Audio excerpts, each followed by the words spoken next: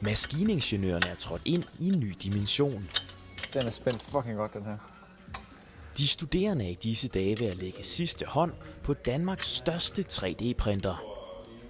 Det gør de ganske frivilligt, for der er store fordele ved at designe i en 3D-printer.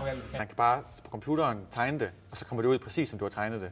Uden du skal ned og få... Øh, eller ned i værkstedet og, og bearbejde det selv. Du, det bliver bare præcis, som du gerne vil have det. Teknologien for 3D-print kan bruges til rigtig meget. For eksempel kan man begynde at lave kunstige knogler, kunstige organer, øh, muskelvæv og lignende i den ene grav.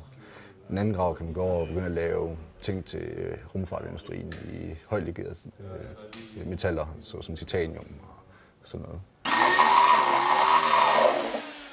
Ingeniørhøjskolen fokuserer i særlig grad på ny teknologi, der skal åbne op for nye kreative muligheder til de studerende. Vi kommer til at have 3D-printer af forskellige typer. Vi kommer til at have laserskærer, vi kommer til at have CT-scanner og 3D-scanner.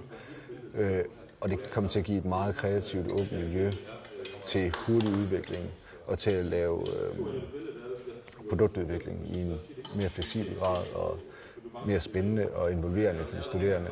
Især den nye 3D-printer vækker begejstring. Der har ingeniørerne ikke tænkt sig om. det er virkelig fedt. Og jeg glæder mig til at sidde og nørde med den og få den til at printe store ting, som man øh, kommer til at måbe af, når man ser. Det, det er virkelig noget, det der inspirerer mig, eller får, får mig til at... Det er drivkraften. Skolens fremtidige studerende vil få rig mulighed for kreativ udfoldelse.